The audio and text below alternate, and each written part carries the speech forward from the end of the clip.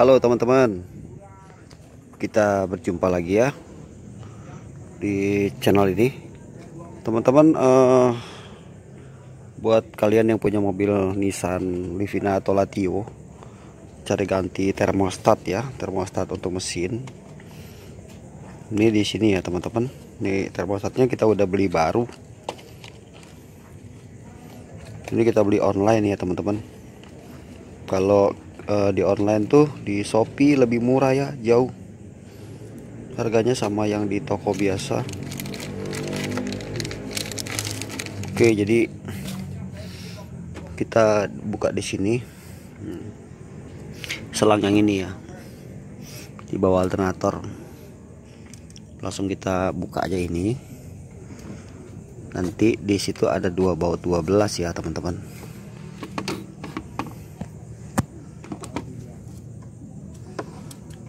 ini mobil sempat uh, overheat ya panas gara-gara termostatnya nggak mau terbuka. Kalau ada sealer lebih bagus ya teman-teman. Bantu pakai sealer. Pakai sealer supaya nanti lebih kuat selangnya. Dah kita copot gini. Buka ya. Hmm, jadi mobil ini sempat kehabisan uh, sempat ini ya sempat overheat maksudnya. Oke kita tinggal buka dua baut aja ini. Sini satu sama yang bawah satu ya. Jadi dua bautnya kita buka.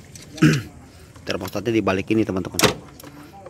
Kalau dicabut termostatnya uh, efeknya itu kipasnya nggak mau mati-mati ya fannya. Jadi kipas radiator itu nyala terus. Lama matinya lama banget. Tapi kalau termostatnya ada dia otomatis ya menyala secara otomatis. Jadi sebaiknya termostatnya itu baiknya di itu ya teman-teman. Sebaiknya di apa e, jangan dicabut. Kalaupun dicabut ya sifatnya sementara nggak apa-apa. Gitu teman-teman. Oke ini ya teman-teman ya. Nah inilah termostatnya. Hmm jadi hubungannya dari selang bawah ya nah ini lamanya. Ini barunya. Nah itu ya.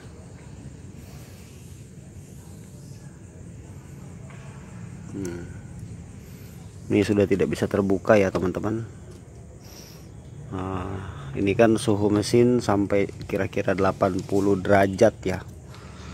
Baru nanti termostatnya terbuka dan air itu akan tersirkulasi nah masangnya begini aja. Kalau teman-teman mau bantu pakai lem bisa tapi kan di sini udah ada karetnya ya. Tapi lebih bagus lagi pakai lem tribon sedikit nggak apa-apa teman-teman. Nah tuh pas dia segitu ya. Nah baru kita pasang yang tadi tutupnya lagi. Oke teman-teman ini udah terpasang termostatnya jadi teman-teman kalau sudah dipasang jangan lupa dicek ya. Dicek uh, apa jangan sampai ada yang bocor. Ini lamanya ya termostat lamanya.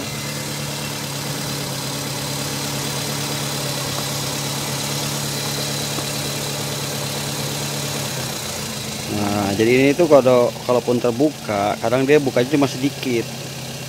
Nah, dia ada beberapa kali ya, jadi agak gede bukanya bisa lihat bisa beli ya teman-teman. Di online aja. Ini saya kemarin beli online cuma 90.000 ya di Shopee. Ini original Nissan ya teman-teman. Oke kalau dicek jangan sampai ada yang bocor. Kemudian air radiator sudah kita isi. Ini sudah saya nyalain mesinnya. Nanti kita tunggu kipas radiator harus menyala otomatis ya. Jadi nyala kemudian off baru nyala lagi begitu seterusnya. Jadi jangan nyala terus. Tandanya mesin mobil sudah dalam kondisi uh, normal teman-teman seperti itu ya. Nah nanti kalau misalnya teman-teman mobilnya mengalami overheat panas mesinnya ya apa-apa saja yang bisa menyebabkan mesin panas itu ya. Yang pertama termostat tidak terbuka. Kemudian tutup radiator juga pengaruh ya. Uh, tutup radiatornya nggak benar nanti air bisa kembali ke reservoir ya tabung cadangan.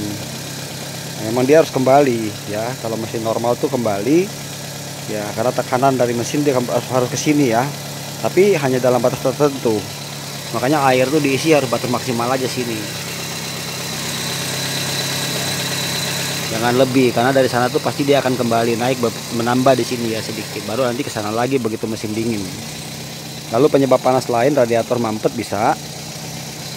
Radiator bocor bisa water pump bocor bisa ya water pump pompa air masalah bisa. Kipas fan lemah kadang muter kadang enggak kalau fan itu belum tentu fannya mati bisa juga berhubungan dengan kelistrikan ya. Apakah relaynya kabelnya atau yang lainnya. Tapi itu secara umum ya. Jadi termostat itu ketahuan saat di mana kipas itu menyala terus. Jadi kipas itu nggak berhenti berhenti terus nyala. Nah itu ciri-ciri kerusakan pada uh, termostat oke teman-teman begitu aja dulu video kali ini. Uh, ini sudah selesai mobilnya. Terima kasih sudah menonton. Jangan lupa bantu subscribe ya channel ini karena subscribe itu gratis. Salam sukses buat teman-teman semuanya. Oke bye